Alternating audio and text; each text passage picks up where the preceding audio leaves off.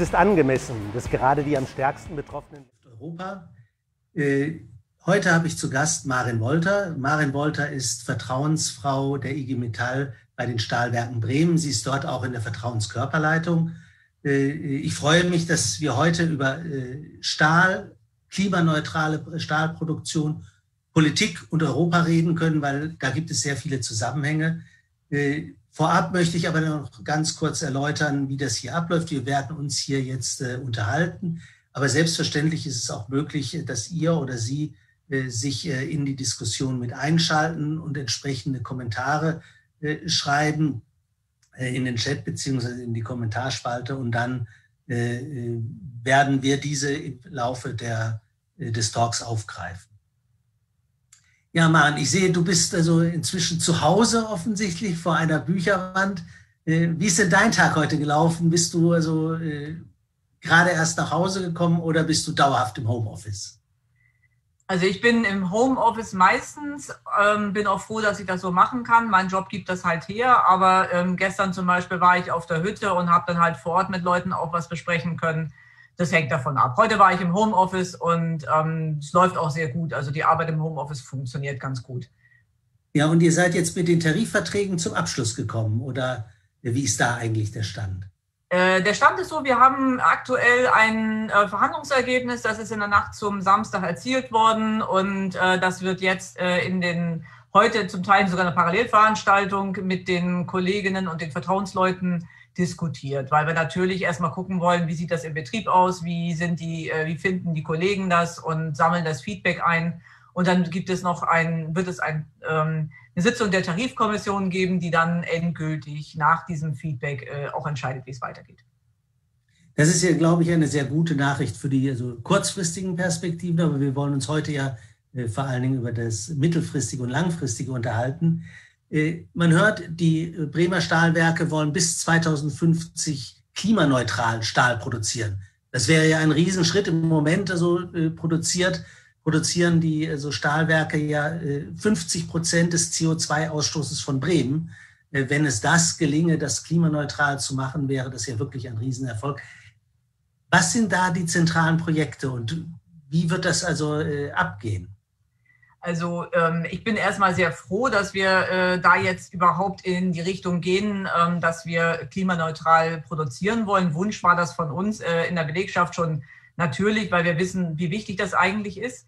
Und äh, es gab auch zum äh, 5. März eine Pressemitteilung, ähm, wo gesagt worden ist, dass wir tatsächlich äh, bis äh, 2030 äh, aufgrund von ähm, Investitionen es schaffen wollen, 30 Prozent CO2 zu reduzieren. Das ist schon mal, also das ist schon mal eine ganz tolle Sache.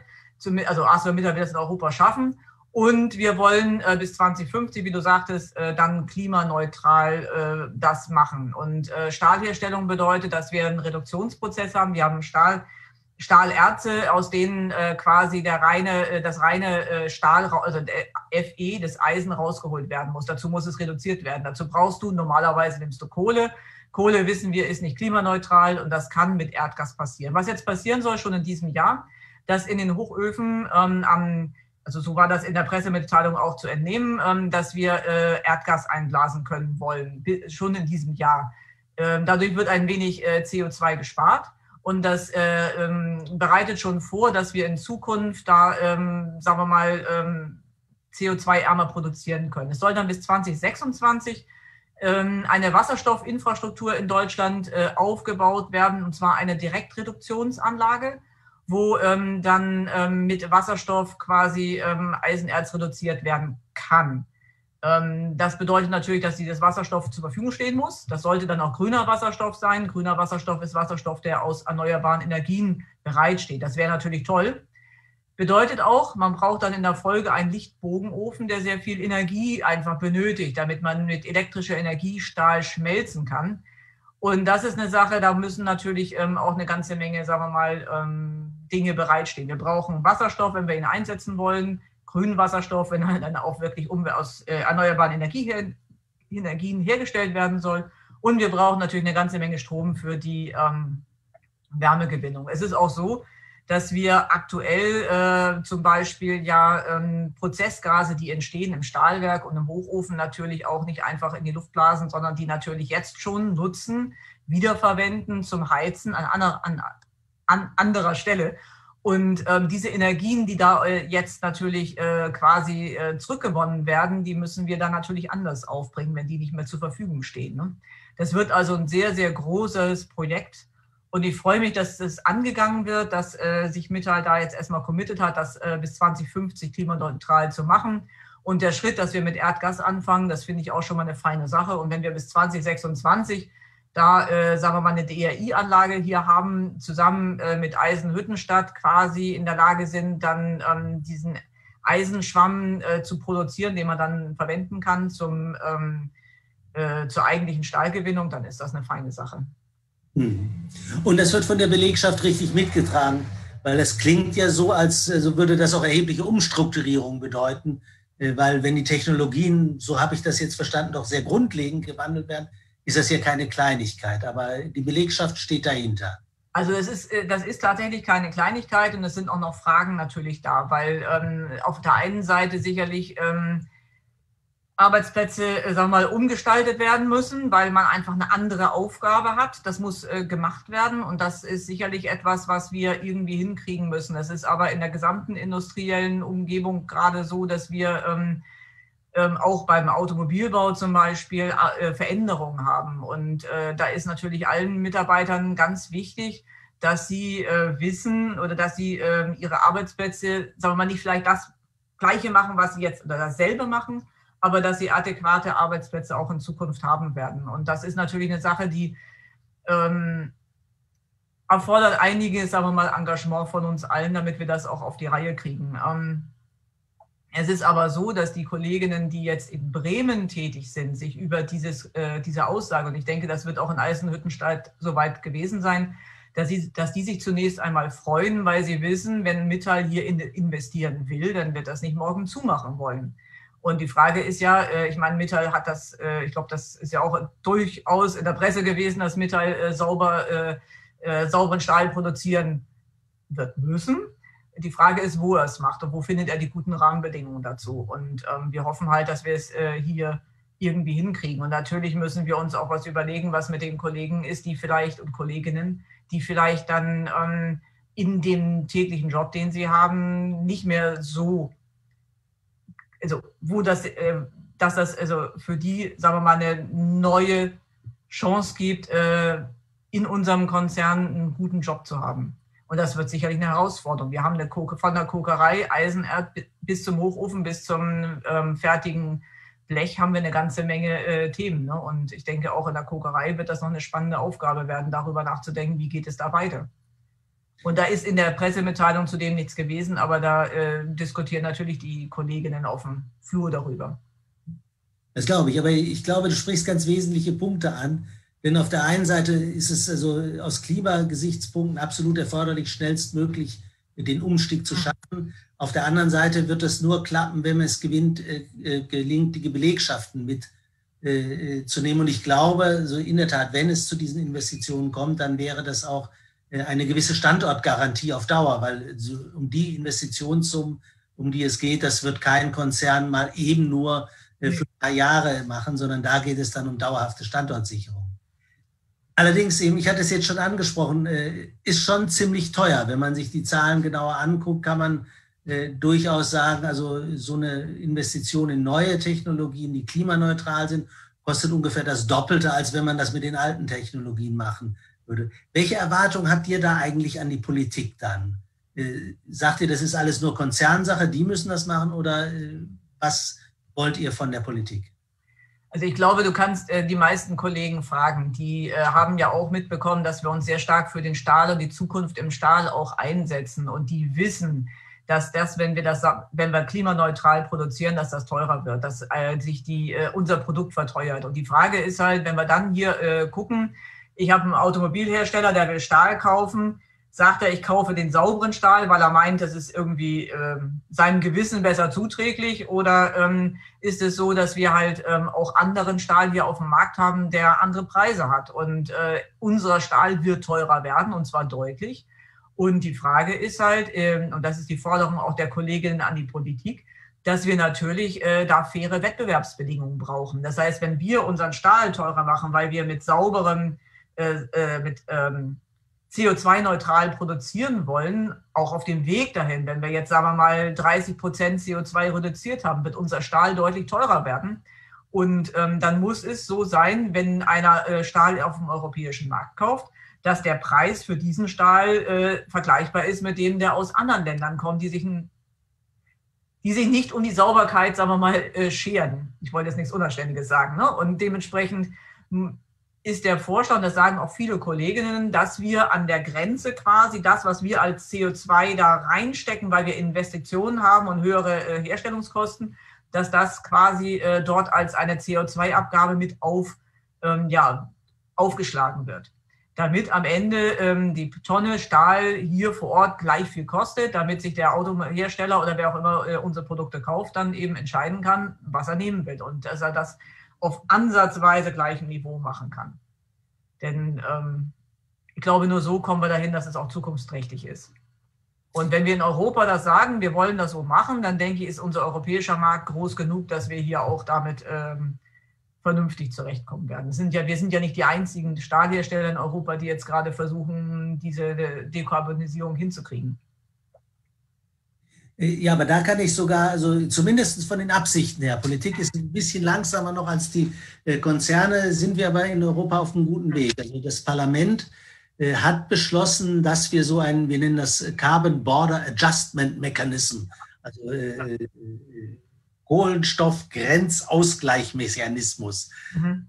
aber das ist genau der Mechanismus, den du meinst, dass man also es schafft, ja auch äh, Stahl, der nach in die EU rein importiert wird, mit den gleichen Preisen zu belasten, die hier der heimische Stahl hat, weil wir eben Klimaschutzanforderungen erfüllen müssen.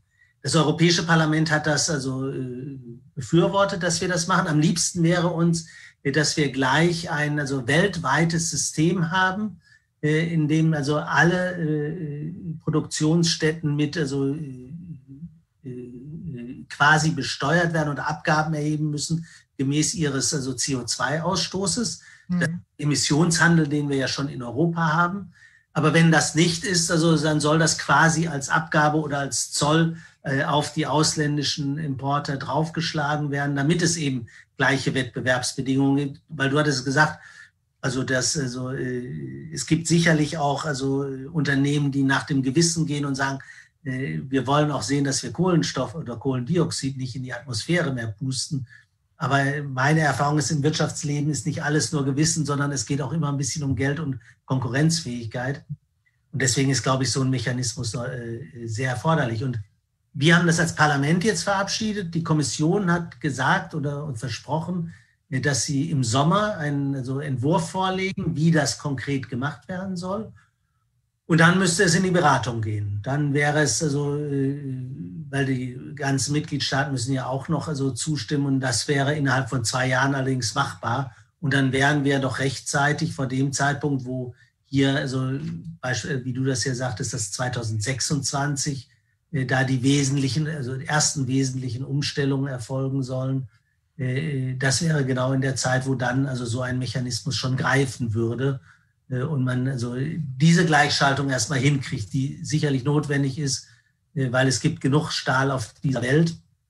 Der wird eben, ich sage dann immer, dreckigerer Stahl, äh, weil er eben mit sehr viel CO2 hergestellt wird. Das kann aber nicht der Sinn sein, dass also hier so Stahlwerke so Probleme kriegen, weil sie klimaneutraler also, oder klimafreundlicher am Anfang ja produzieren und die anderen dann also den Markt so also, äh, beherrschen würden hat.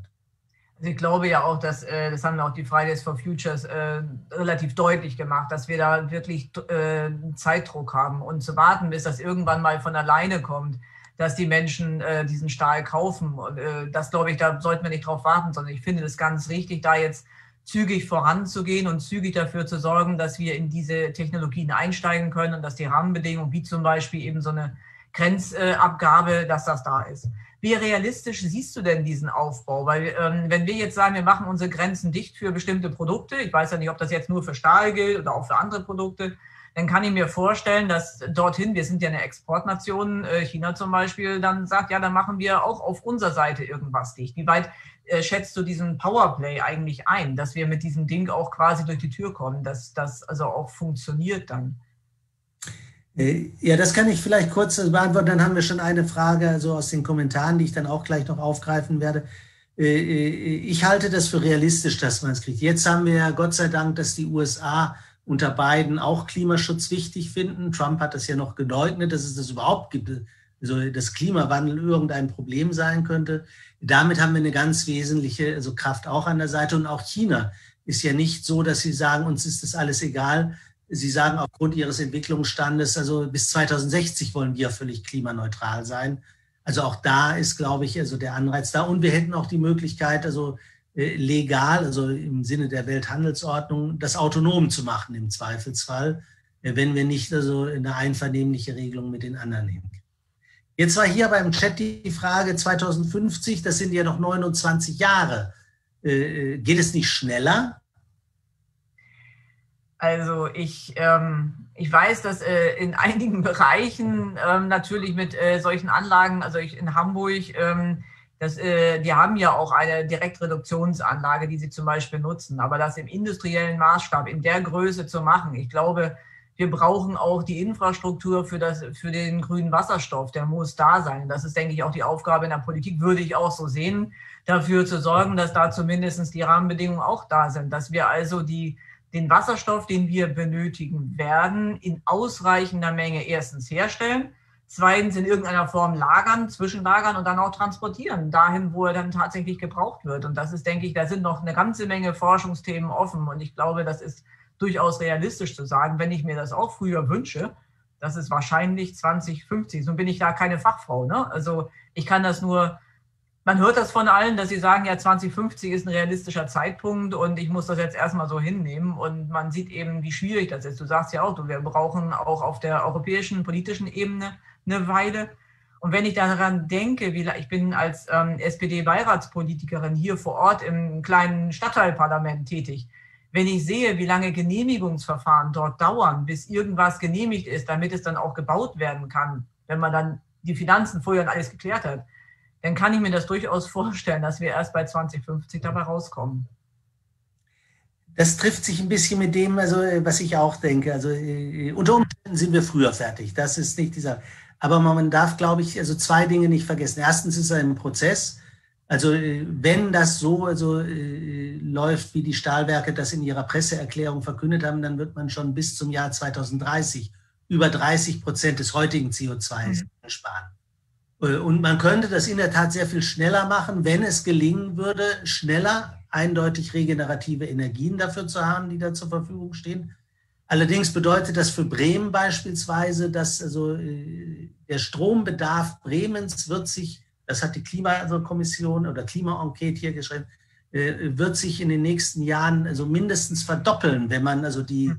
Elektrifizierung als wesentlichen Punkt nimmt, um CO2 also zu reduzieren. Und das müsste dann ja alles regenerativ sein, wenn es klimaneutral wäre. Das ist ein gewisser Engpassfaktor. Es braucht einfach Zeit, äh, wobei wir das beschleunigen müssen, so viel es geht. Das ist aber in der Tat viel Aufgabe der Politik. Und die zweite Sache, das hast du angesprochen, ist auch ein ganz wesentlicher Punkt. Am Anfang soll ja Erdgas genommen werden. Mhm. Aber das ist also äh, von vornherein soll da immer Wasserstoff beigemischt werden. Und sobald genug Wasserstoff da ist, äh, braucht man natürlich gar kein Erdgas mehr. Und man kann diese Anteile eben steigern. Deswegen, ich glaube, es ist, äh, also man muss versuchen, es zu beschleunigen, dass wir in der Tat nicht 29 Jahre brauchen. Es hängt aber daran, also produzieren wir genug regenerativen Strom äh, und produzieren wir genug Wasserstoff, damit wir das also äh, auch machen können. Wobei aus meiner Sicht dann die andere Sache ist, da kommen ja auch manchmal Leute drauf, also man könnte ja ganz auf den Stahl verzichten. Äh, wenn man sich anschaut, wo Stahl überall gebraucht wird, äh, äh, ist es, glaube ich, also illusorisch man wird Stahl auf absehbare Zeit brauchen. Deswegen muss man sich der Anstrengung, glaube ich, unterziehen, zu sagen, wir müssten jetzt so schnell wie möglich aber und konsequent klimaneutral Stahl herstellen. Aber es wird auch eine gewisse Zeit dauern. Das wird einfach das Ergebnis sein. Ja, und Stahl ist ja auch vom Werkstoff her, wenn ich jetzt irgendeinen Kunststoff nehme, mit dem ich, wenn ich jetzt mal ein Auto bauen will und nehme Kunststoff. Eine Kunststofftür, wenn ich die dann gemacht habe, oder wenn ich jetzt über die äh, ganzen Rotorblätter von irgendwelchen Windrädern nachdenke, das sind auch alles äh, irgendwelche Kunststoffe. Wenn ich die dann äh, auseinanderbauen muss, weil sie ihre Zeit abgelaufen haben, dann sind die, glaube ich, nicht mehr recycelbar. Wenn ich aber Stahl nehme, dann kann ich Stahl wieder aufschmelzen und dann ist Stahl wieder neu wie am ersten Tag. Und äh, das ist zu 100 Prozent recycelbar. Und das ist das, was Stahl eben auch äh, neben den ganzen mechanischen Eigenschaften als einen fantastischen Werkstoff einfach äh, darstellt. Und äh, da ist es gut, wenn die Autos aus Stahl gebaut sind, weil man die halt jederzeit auseinanderbauen kann. Dann kann man das Stahl wieder in den Hochofen tun oder jetzt dann den Stahlberg reintun und ähm, kann das wieder aufschmelzen mit erneuerbaren Energien und hat wieder fantastischen Stahl. Machen wir ja heute schon. Ganz viel Schrott äh, wird ja auch eine zugesetzt. Wenn wir Stahl heute produzieren, läuft ja schon ganze Menge Schrott wieder rein in dem eigentlichen Prozess, wenn dann aus Roheisen Stahl wird. Da wird eine ganze Menge Schrott versenkt, äh, zu 100 Prozent recycelt. Ich möchte auf einen anderen Aspekt kommen. Die äh, Produktionsumstellung wird enorm teuer für die Konzerne. Es geht äh, da um richtig, also äh, Investitionsmittel. Ich hatte schon mal gesagt, grob gepeilt kann man sagen, also äh, eine äh, DRI-Anlage, also Direktreduktionsanlage, äh, plus also entsprechenden Elektrolichtofenbogen, Lichtbogenofen und so weiter, ist ungefähr doppelt so teuer wie die alte Hochofenroute. Mhm. Deswegen glaube ich, das ist auch ein ganz wichtiger Aspekt. Also das ist gerade auch, finde ich, in Bezug auf also die Bundestagswahl mit also interessant das wird schon auch also staatlicher Unterstützung brauchen. Also wenn die Konzerne äh, das also äh, stemmen sollen. Wobei auf der europäischen Ebene es weniger um die Investitionsmittel geht, sondern da geht es darum, dass wir das wettbewerbsrechtlich ermöglichen, dass also Fördermittel auch dafür gewährt werden können, weil bisher darf man das für Forschung, aber hier geht es nicht um Forschung, sondern es geht darum, um Produktion für den Normalbetrieb umzustellen. Äh, damit aber dann eben solche, das, äh, das Element ist ja auch schon entwickelt, äh, Contracts for Difference greifen können, dass wenn wirklich also nachweislich klimafreundliche Technologien eingesetzt werden und dafür investiert wird, dass das auch staatlich förderfähig ist. Auch das ist, glaube ich, eine ganz wesentliche Sache, dass man sehen muss, dass also Politik auch auf dieser Ebene gefordert ist, damit man das also entsprechend auch also zügig umbauen mhm. kann. Ja, das ist eine spannende, spannende Sache. Ne? Wenn äh, natürlich ähm, wünsche ich, äh, kann ich mir vorstellen, dass der Mitteil, wenn der jetzt überlegt, äh, wo, äh, also er wird ja um die äh, CO2-Neutralität nicht drum rumkommen, der wird sich natürlich überlegen, wo fängt er an, wo, äh, wo sind die Bedingungen günstig, wo habe ich eine Chance, vielleicht auch, sagen wir mal, Staatshilfen zu kriegen, weil das natürlich ein Rieseninvest ist. Ne? Und ich frage mich jetzt, sagen wir mal so, als, ähm, als Politikerin auch oder ja, ich frage mich dann schon, was ist denn eigentlich, wenn jetzt aus, sagen wir mal, Bundesmitteln ähm, gefördert wird, diese Gelder, die, na klar, die Umwelt wird sauberer, alles schön und gut, aber was heißt das eigentlich für Beschäftigungssicherung? Wir haben das in Corona gemerkt, es gab Corona-Beihilfen, ähm, die sollten, das ist so mein, mein Verständnis, sagen wir mal, dann auch äh, daran äh, geknüpft sein, dass es Beschäftigungssicherung gibt. Und jetzt haben, stehen wir hier, hier mit dem Stahl, mit der äh, Dekarbonisierung vor einer sehr, sehr großen Transformation, die natürlich Veränderungen auch bei den Arbeitsplätzen bedeutet. Und dann würde ich mich natürlich freuen, wenn es da in irgendeiner Form ähm, auch äh, vielleicht äh, Verbindungen gibt. Ne? Also das würde ich jetzt so als, sagen wir mal, Politikerin mir schon durchaus äh, vorstellen, dass das eine wichtige Sache ist damit das Geld eben tatsächlich äh, dort auch ankommt und ähm, verwendet werden kann. Ja, ich glaube, also diese äh, Investitionsförderung also Förderung würde immer nur, also, äh, also hätte einen automatischen Effekt von Beschäftigungssicherung. Es geht ja um Investitionen von mehreren hundert Millionen äh, Euro. Also das tätigt, also erstens würde die so staatliche Seite nie 100 Prozent also davon zahlen, mhm. sondern nur eine Differenz, also die glaubwürdig macht, was dann wirklich der Anteil ist, dass man das jetzt schnell klimaneutraler macht oder klimafreundlicher. Äh, äh, das wäre also eine Sache. Und ansonsten würden wir, äh, würde Politik immer darauf achten, dass das wirklich auch so umgesetzt wird, wie es gemacht werden würde, wie es also beantragt wurde. Wobei, also auch das ist ja immer eine interessante Frage, weil es ja manche, also gerade in der Pandemie hat es da jetzt ja Sachen gesetzt. Es würde nicht die Schwierigkeit also nach sich ziehen, wie das jetzt eigentlich mit Dividenden und Boni ist. Mhm. In der Corona-Krise wurden die Unternehmen ja einfach gestützt, damit sie nicht pleite gehen. Und dann haben sich einige trotzdem die dicken also Dividenden ausgezahlt. Dieses Problem hätten wir nicht, weil es hier ja wirklich darum ging, also dass man die Möglichkeit schaffen soll, dass dann, wenn danach aus dem realwirtschaftlichen Betrieb Boni geschafft wird. Es wurde jetzt aber im Chat noch eine andere Frage gestellt, nämlich wie das denn mit den Schutzzöllen wäre. Auch das ist eine wesentliche Sache äh, für Europa. Äh, das eine, was wir ja gerade hatten, war ja das Carbon Border äh, Adjustment, also die, die Verhinderung oder entsprechende so, Zollschranken, wenn man so will, um zu verhindern, dass also CO2-reichhaltigerer Stahl hier auf den europäischen Markt drängt. Eine andere Sache ist die Schutzzölle. Es gibt ja seit zwei Jahren EU-Schutzzölle für Stahl, äh, die, die Ur den Ursprung hatten, dass äh, die USA so äh, protektionistische Zölle erhoben haben und dadurch das gesamte Weltmarktgefüge ja so ins Wanken gekommen ist. Und daraufhin als Gegenreaktion hat Europa ja Schutzzölle ergriffen. Diese hätten eigentlich in diesem Jahr auslaufen müssen.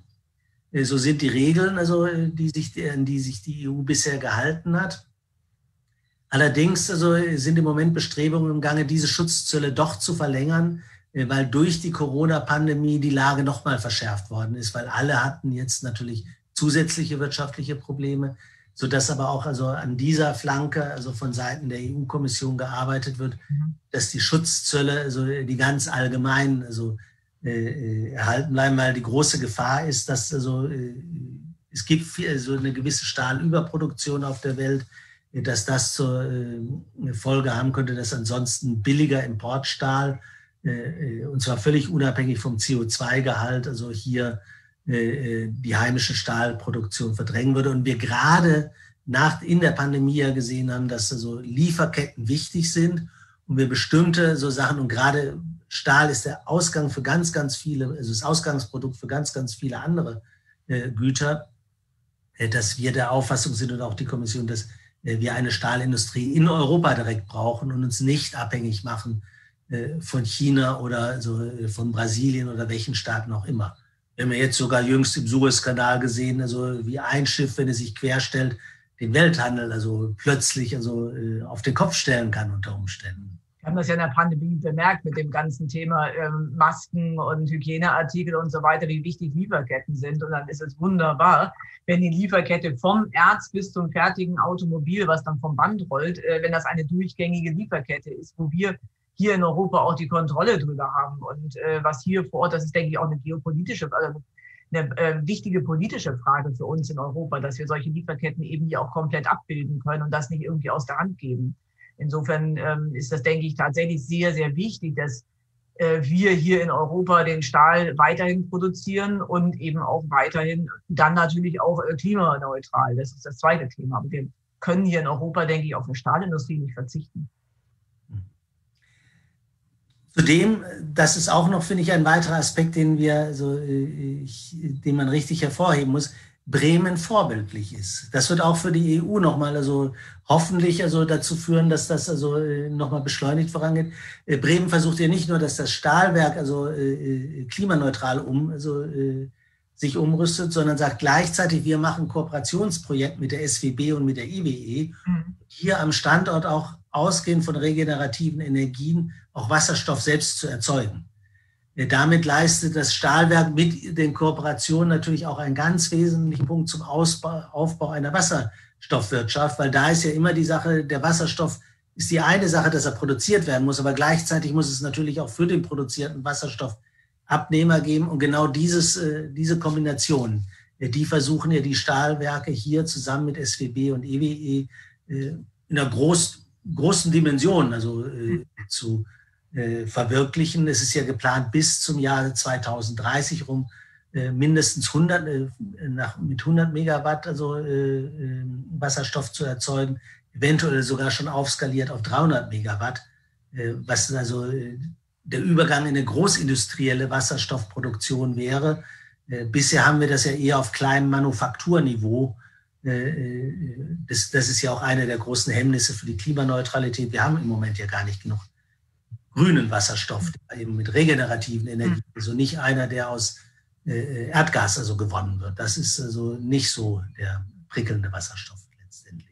Ähm, ich habe ja, äh, ich bin ja hier im Beirat äh, tätig und ich weiß, dass wir eine Erdgasumstellung jetzt auch hatten und dass wir zum Beispiel große Salzkavernen haben, die jetzt leergezogen worden sind, hier in Burg Ramke, also eigentlich all vor Ort in der Nähe vom Stahlwerk. Und da frage ich mich natürlich, ähm, kann man Wasserstoff dort auch zwischenlagern? Weil wir reden ja von, sagen wir mal, gigantischen Mengen, die wir brauchen, um diesen Stahl, wenn wir weiterhin sagen wir mal, die gleiche Produktion aufrechterhalten wollen, reden wir von gigantischen Mengen Wasserstoff. Ich habe es jetzt nicht überschlagen, aber ich denke, wir müssen das Ding ja auch, müssen das auch zwischenlagern. Der Produktion steht auch mal, weil irgendwas äh, vielleicht äh, repariert oder gewartet werden muss und so weiter. Und äh, das Ganze muss im Verbund wirklich zusammenpassen. Wir müssen den, die Energien äh, äh klimaneutral gewinnen. Wir müssen die äh, transportieren. Wir müssen irgendwie gucken, dass wir die Leitung haben wir müssen äh, das vielleicht zwischenspeichern. Vielleicht brauchen wir auch noch mehr, wenn wir tatsächlich im Automobilsektor mehr erstmal auf E-Mobilität setzen. Ob das jetzt eine endgültige oder Zwischentechnologie ist, einmal dahingestellt. Zwischendurch werden wir das nutzen wollen.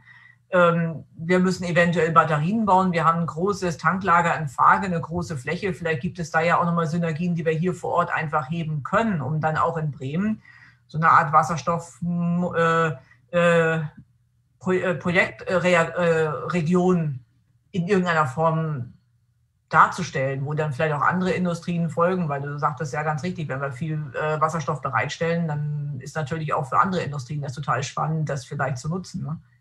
Und das wäre für Bremen ein super Standortvorteil. Bremen hat ja sowieso den Vorteil, dass wir, ich weiß nicht, in jedem Stall ein Pferd haben. Ne? Wir haben. Wir haben Autoindustrie, wir haben äh, Raumfahrt, wir haben äh, Luftfahrt, wir haben so viele verschiedene Industriezweige, dass wir sicherlich da eine gute Synergien schaffen können, wenn wir es schaffen, diese, diese verschiedenen Interessenten und Stakeholder in irgendeiner Form zu verbinden und zusammenzubringen. Wenn wir das als Politik schaffen würden, das quasi dem einen Rahmen zu geben, ich glaube, dann haben wir eine ganze Menge gewonnen hier für Bremen. Ja, das glaube ich auch. Also zumal also manche Industrien, also ein, vieles geht mit Strom alleine, dass man es elektrifiziert. Aber es gibt einige Bereiche, die hier in Bremen auch mit ansässig sind, die man nur, also mit Wasserstoff wird äh, klimaneutral kriegen. Das ist der äh, Luftverkehr. Nur wenn wir, also, so sieht es wenigstens im Moment von der technologischen Basis. Mhm. Ich bin natürlich kein Ingenieur, aber nur wenn es gelingt, Wasserstoffflugzeuge äh, zu bauen, dann äh, wird es möglich sein, dass auch der Luftverkehr äh, klimaneutral werden kann. Und genauso ist das bei der Schifffahrt. Auch Schiffe also, und auch das, was wir hier äh, direkt erstmal anlanden haben, also dass man also äh, die Emissionen dort also drastisch reduziert wird, auch also mittelfristig also nur mit wasserstoffgetriebenen Schiffsmotoren entsprechend also möglich sein. Insofern glaube ich schon, dass also die es eine gute Chance bietet. Insofern, ich glaube, wir haben auch unser Ende im Moment erreicht. Es ist, glaube ich, also die eine Sache, dass also die Stahlwerke, so äh, ArcelorMittal Bremen, äh, eben sich auf den Weg machen, Konzepte, ganz konkrete Konzepte entwickeln, wie man äh, auf eine klimaneutrale Produktion umstellen kann, die eben verbunden ist mit äh, Wasserstoff. Und genau da liegt dann auch nochmal eine zusätzliche Chance für die Region, wenn man diesen Anker, also diesen äh, Hauptabnehmer erstmal von Wasserstoff, wenn man das also zu einem Anker nimmt für den Aufbau einer Wasserstoffwirtschaft hier äh, in Bremen, dann haben wir, glaube ich, auch äh, als Wirtschaftsstandort also nochmal sehr gute und sehr moderne also Perspektiven. Und ich glaube auch im Moment, das wird sich dann in den weiteren also Jahren erweisen müssen, weil man muss dann ziemlich gleichgerichtet agieren ist auch die Politik hier. Alles, was ich mitgekriegt habe, ist die Bremer Politik, unterstützt diesen, diese Umstrukturierung auch vollständig. Der Bund zieht weitgehend mit und auch auf der europäischen Ebene äh, haben wir also äh, wichtige Weichenstellungen vor uns. Die sind alle angekündigt, dass diese Weichenstellungen auch vollzogen werden müssen und können und die Vorschläge dazu kommen, so dass sich das, das ist meine Hoffnung natürlich auch immer mit, äh, dass sich das insgesamt zum also Gewinnerprojekt sowohl für die also Stahlwerke Bremen als auch für den Wirtschaftsstandort Bremen oder Nordwestdeutschland äh, dann entsprechend werden kann. Ja, Maren, ich möchte mich ganz herzlich also bei dir bedanken, dass du äh, mir als Gesprächspartnerin zur Verfügung gestanden hast. Äh, ich freue mich, dass ihr den also, Tarifvertrag, wie gesagt, das kurzfristige, also unter Dach und Fach gebracht habt. Jetzt können wir alle Kraft auf die mittelfristigen und langfristigen Arbeiten mit konzentrieren. Und ich hoffe, den Stahlwerken viel, dass die Stahlwerke viel Erfolg haben und den Umbau so rasch wie möglich schaffen. Und ich würde mich natürlich auch freuen, wenn daran also die Region insgesamt gestärkt werden würde und wir neue industrielle Perspektiven hier auch aufbauen können. Ich bedanke mich bei meinen, den Zuschauern und Zuhörern. Äh, ich hoffe, es hat äh, gefallen und hat Ihnen auch also wichtige Informationen gebracht. Und dann sehen wir uns in drei oder vier Wochen beim nächsten Talk wieder. Bremen trifft Europa. Vielen Dank und einen schönen Abend. Ja, danke schön. Auch danke für die.